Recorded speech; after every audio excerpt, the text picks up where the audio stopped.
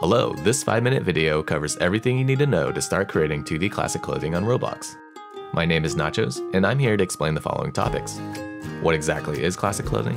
An overview of how these clothing items are made and common software creators use.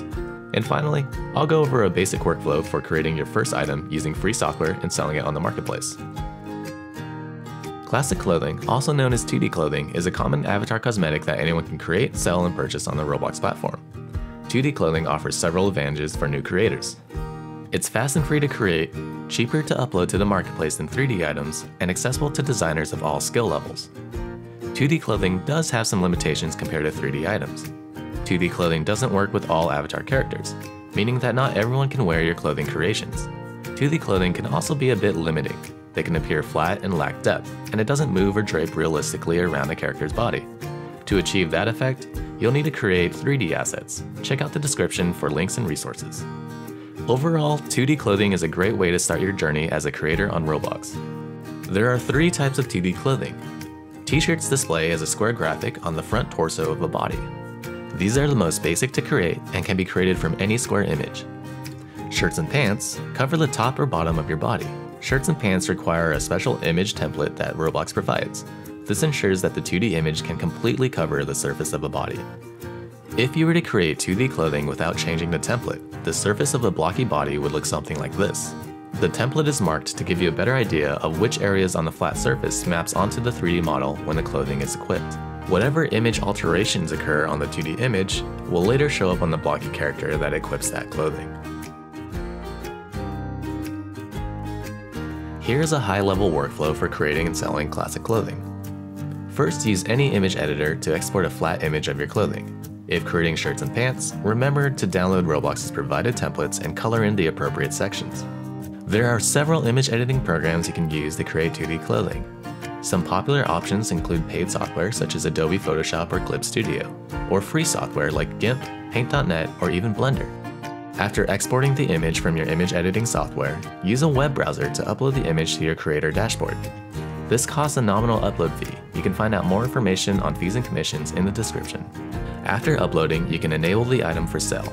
Now other users can find and purchase your asset on the marketplace. Next, I'll walk through one flow of creating 2D clothing using free software. Just as a forewarning, I'm not an artist, and there are amazing creators out there with a ton of great content available online. This is a good opportunity to stop watching and search for a 2D clothing creator who uses the same software that you have access to. Check them out and support them. In this specific case, I'm going to be using the free software called GIMP. GIMP is available on both PC and Mac, and you can check out the download link below in the description. After installing the software, launch GIMP and navigate to File Open and open your downloaded template file image.